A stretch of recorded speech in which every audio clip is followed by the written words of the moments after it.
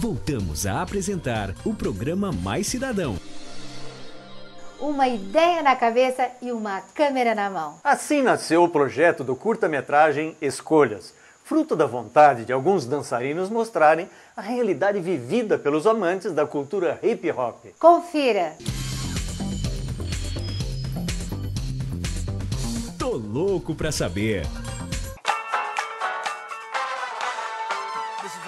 O curta-metragem Escolhas é considerado um dos primeiros trabalhos no Brasil que aborda o street dance, a dança de rua, que faz parte da cultura hip hop. O curta começou a ser gravado no início de julho em diversos locais de Campinas, entre eles o Museu da Imagem e do Som.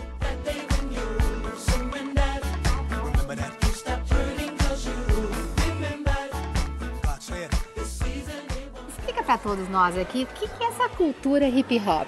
Então, a cultura hip hop ela é o embasamento né, e a união de quatro elementos. Né? Primeiro, A dança de rua, né, que são feitas pelo pessoal do street dance.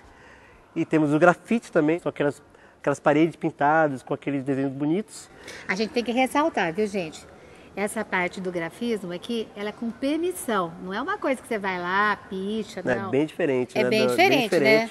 O grafite ele é envolvido como arte mesmo, né? A gente faz nossa arte, nossa expressão nas ruas, né? São mensagens positivas e geralmente também são mensagens relacionadas ao cotidiano, né? Temos também o DJ, né? Que vai lá e toca Nossa, nossas gente, músicas. Mas DJ é tudo hoje, fala a Hoje verdade. é tudo, hein? uma profissão gostosa, o pessoal vai sempre nas baladas lá, o DJ tá tocando, arrebenta na pista para que os dançarinos também possam se divertir. E temos o MC, né, que é o famoso mestre de cerimônia, que faz aquelas rimas de improviso que anima a festa também, né. E temos também o quinto elemento, né, que é o elemento da consciência, né, que a gente sempre prega para os nossos participantes, nossos mi- militantes da cultura hip hop, ter o quinto elemento também, que não basta você se apegar a alguma uma parte da cultura, mas você também tem que praticar e desenvolver ações sociais, né, também. Ou também se especializar, por exemplo, fazer faculdade, fazer algum curso técnico, algumas coisas do, do gênero. A gente está vendo, né, gente, que é uma manifestação cultural que traz uma mensagem através de uma consciência coletiva, né? Exatamente. É que isso começou em 1929 nos Estados Unidos, né? É, exatamente, veio dos Veio pra guetos. cá, veio dos guetos. A gente adaptou o que a gente pegou de fora para o nosso contexto, né, para nossa realidade. Então, hoje em dia você vê músicas com batidas de rap, mas com um pouquinho de pandeiro, com um pouquinho de birimbau, com, nossa, com um pouco da nossa cultura brasileira, né? Até mesmo com samba, né? Você vê muito rapper misturado com, com samba. E a comunidade campineira ou da região de Campinas é muito grande? Fala um pouco de números pra gente. Então, a cultura hip hop, ela sempre se estabeleceu mais nas comunidades, né, carentes, né? Por ser uma, uma, uma, uma, uma referência, né, de protesto, de cultura, de falar da cultura marginal, né, mas não marginal do sentido pejorativo, mas marginal que margeia, né, a, as divergências e a, soci, a sociabilidade cultural dos do lugares, porque muitos, muitas comunidades não têm teatro, não tem ações culturais efetivas, então a cultura hip hop veio para ocupar esses espaços. Né? Então aqui em Campinas a gente consegue gerar em alguns eventos, né, que são feitos eventos grandes, até mais ou menos 5 mil pessoas. Né? Como é que surgiu, né? Como é que nasceu essa ideia do filme? Então a ideia, na verdade, desde quando eu comecei a trabalhar com cinema, eu sempre quis colocar a cultura hip hop como um plano de fundo da- das coisas que eu faço, né? Já fiz um documentário sobre violência doméstica que também teve também como plano de, fundo a cultura hip hop e trilha sonora de rappers, né? Rappers conhecidos da região de Campinas, rap conhecido também do estado de São Paulo. E aí eu queria coisa mais, né? Abranger os elementos, né? Fala um pouco pra gente, Júcia, da história e por que o nome de Escolhas? Então, na verdade, foi um pouco baseado na, na minha vivência, né? Nós temos um personagem principal, que é o Buga, né? É um garoto adolescente que ele é apaixonado pela dança de rua, ele gosta demais da dança de rua, mas tem o irmão dele, né, que é envolvido com crime, e uma fatalidade acontece, o irmão dele acaba falecendo, acaba falecendo e perdendo uma, uma quantia em drogas, e é onde esse chefão que agenciava o irmão dele, né, acaba cobrando o Buga, né, para que o Buga ou trabalhe ou pague a dívida, né, no crime. E o Buga fica nesse meio termo, né, ou ele vai para a dança ou vai para o crime, faz a escolha difícil, né, e ele acaba optando pela dança, né, mas isso é as consequências, né, nada fica, né, no acaso, então ele tem que contar com a ajuda de amigos, né, para sobressair, para conseguir sair fora dessa confusão aí. Você já teve amigos que fizeram outras escolhas? Já tive amigos já que já preferiram entrar para o mundo do crime, que seguiram um caminho divergente dos meus, né? Eu acabei tendo que me afastar. Inclusive amigos que eu fui eh, visitar recentemente e descobri que estão na cadeia, né? Que foram presos por conta de delitos que aconteceram na vida, né? Como é que foi a escolha do elenco? Então, a gente fez uma, uma pré-seleção aqui em Campinas, né, na, na, região de Campinas. Selecionamos alguns dançarinos para poder fazer essa, essa dinâmica de, de, elenco. Aí depois teve uma oficina que foi preparatória para o elenco, e a gente podia potencializar esses dançarinos a ser atores, né? Porque era muito mais fácil a gente transformar dançarinos em atores do que atores em dançarinos de dança, de rua, é né? Verdade, né? Então ele já tem todos os jeitos, ele já tem todas as linguagens corporais então pra gente foi muito bacana, foi uma experiência nova para mim, né? Porque a gente tava com muito medo dessa relação de lá que eles vão dar conta. E foi uma surpresa, porque eles deram conta e hoje aí estão mandando ver no filme, no curta-metragem Escolha. O filme recebeu financiamento do FIC, Fundo de Investimentos Culturais de Campinas, no valor de 50 mil reais. E também conta com o apoio de outras entidades e empresas na forma de serviços. Tem o site né, que vocês podem estar entrando, tá?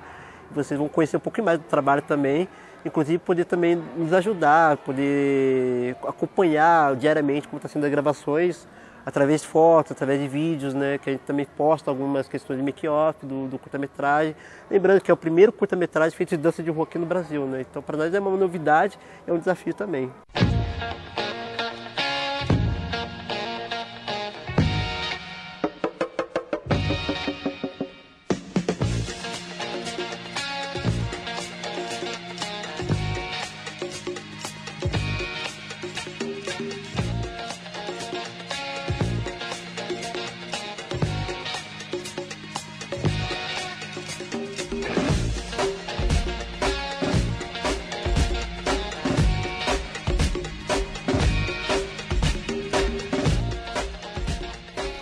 Comecei no street dance depois que eu vi um filme na TV chamado Na Onda do Rap.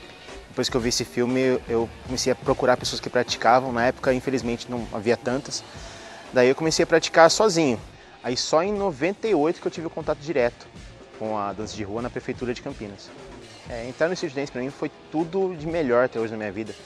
Foi, é, inclusive, sair um pouco do da onde eu, de onde eu era, que infelizmente era um lugar ruim. Uh, amizades um pouco ruins também, influenciáveis para esse lado ruim. Né? Hoje também é minha profissão, lado de profissão também. Né? Em relação à saúde, que antes eu era um garoto que, nossa, tinha todo o problema de saúde possível, bronquite, problema na coluna e agora não tem mais nada disso. Enfim, foi tudo de bom para mim. Participar desse filme para mim é muito importante porque, na verdade, eu nem imaginava participar de um filme um dia na minha vida. Acho que, graças a Deus, hoje eu consegui conquistar tudo que eu queria na dança. Né? Tem mais algumas coisas, mas pelo menos tudo aquilo que eu quis até agora eu consegui. Agora, o filme nunca passou pela minha cabeça. Né? Está sendo ótimo participar, estou aprendendo muita coisa, inclusive com os diretores do filme. Né? Tá sendo difícil, né? Porque é, eu sou da dança, aí atuar é um pouco complicado, mas eu estou fazendo um papel que, como diz a, a Cássia, né? É, cai muito bem em mim. Está sendo muito bom participar do filme.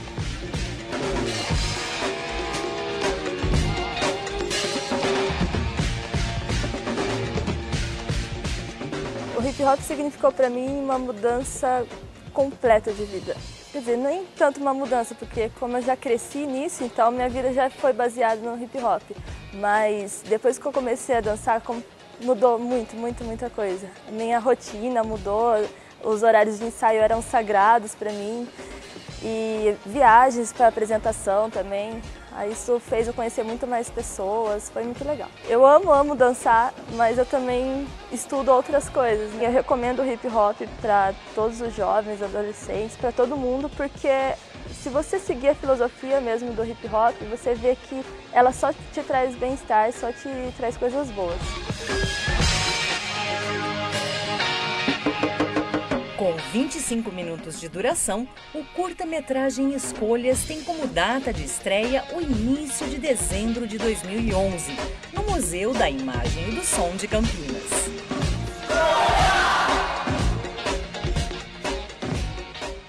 Você vai saber agora como foi o Campeonato Internacional de Dança de Rua que aconteceu no Ginásio de Esportes do Guarani.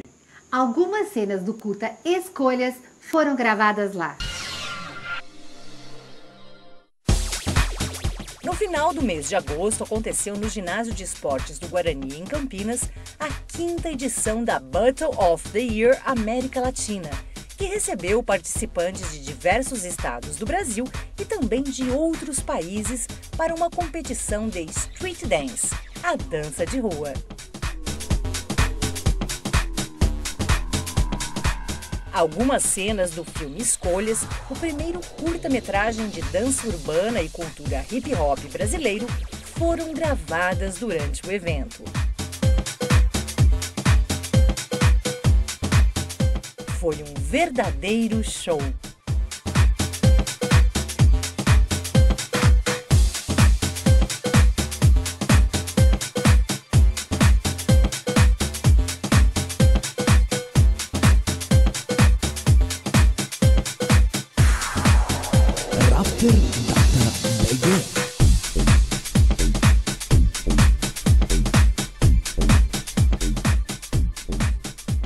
Bom, pessoal, esperamos que vocês tenham gostado do programa de hoje. A gente se vê no próximo sábado. Aqui na TVB Record Campinas. Um grande abraço. E até lá!